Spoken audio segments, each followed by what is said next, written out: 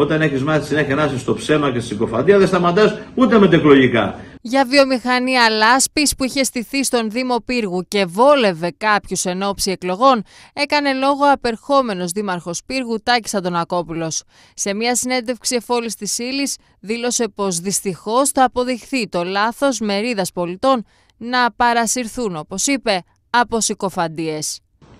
Κραυγαλαία αποδεικνύεται όλη αυτή η βιομηχανία λάσπης στην οποία έχουν μεγάλη επίδοση κάποιοι στην πόλη μας και με την οποία ε, έκαναν και εκλογές για να πούμε κι άλλα. Εγώ βασικά ε, όπως ξέρετε είμαι πολιτικών, ρεαλιστής και δραστήριος. Φεύγουμε μπροστά, δεν είμαστε εμπαθείς ούτε, αλλά ε,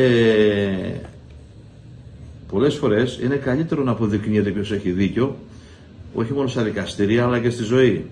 Για ακόμη μια φορά ο Τάκης Αντωνακόπουλος αναφέρθηκε σε εκβιαστικά μηνύματα που δεχόταν κατά τη διάρκεια της προεκλογικής περίοδου για τα οποία, όπως δήλωσε, έχει ήδη καταθέσει στον εισαγγελέα. Το κινητό μου είναι όλη την τετραετία γεμάτη απειλητικά μηνύματα, τα οποία θα τα δει και ο κόσμος να καταλάβει και την ποιότητα των ανθρώπων. Πολύ βασικό, έτσι. Το πολιτισμικό και ηθικό επίπεδο κάποιων που είναι βέβαια πρωταγωνιστές στην αξιοπρέπεια της πόλης. Σε σχέση με τα οικονομικά του Δήμου, ο κ. Αντωνακόπουλος δήλωσε πως ο ίδιος παραδίδει τον Δήμο με 10 εκατομμύρια χρηματικό πλεόνασμα, εκ των οποίων τα 4 είναι ελεύθερη η νέα Δημοτική Αρχή να τα χρησιμοποιήσει όπως θέλει.